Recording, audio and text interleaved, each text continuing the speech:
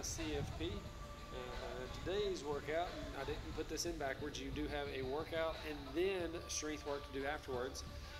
Today's workout is a twist on fight gone bad. Um, normally done with a barbell, uh, we're doing it with a single dumbbell or single kettlebell, uh, especially for those of you that are still at home. Um, for those that are still in the, that are in the gym, we're doing it that way to uh, limit the amount of contact that is being, the uh, equipment that is being shared. Um, so, one minute at each station. We're gonna go through everything three times, trying to get as many reps in as you can. Your first station is a single arm thruster. So you have your dumbbell or your kettlebell, one side at a time, squat, press, squat, press, squat, press, switch arms whenever you need to. Second movement is cleans, so from the floor, keep that chest up, pop it up to the uh, front rack position, switch arms whenever you need to, make sure you touch the floor every time. Third will be up downs, so weight is off to the side, high plank, back to standing, high plank, back to standing. Fourth will be push press, so you get that weight back up dip, press, dip, press. Use those legs to help you drive that weight overhead. And the last one is bike.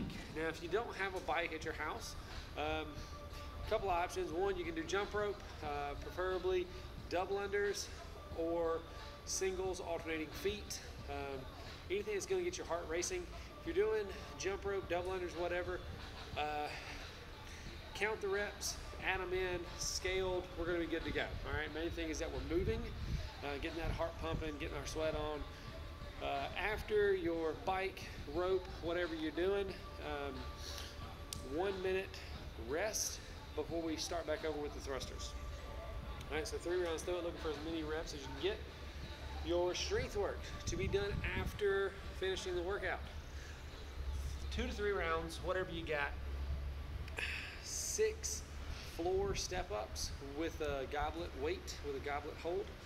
So I'll have my weight, starting off on my knees. You gotta stand up 12 times. Leading with each leg six times. So 12 floor step ups. And then for the bent row, you can hold your weight between the legs, back flat, or on the outside, back flat. The outside definitely gets that midline more because you're having to stabilize that weight far that away from you. So your choice though. Six floor step ups per side, 10 bent row per side, and then uh, rest for a minute, repeat it, two to three rounds, call it a day. Uh, guys, if you have any questions, fire them out at me. Otherwise, thank you for tuning in. I uh, can't wait to see you back in the gym though, uh, really soon, really soon. We miss you guys.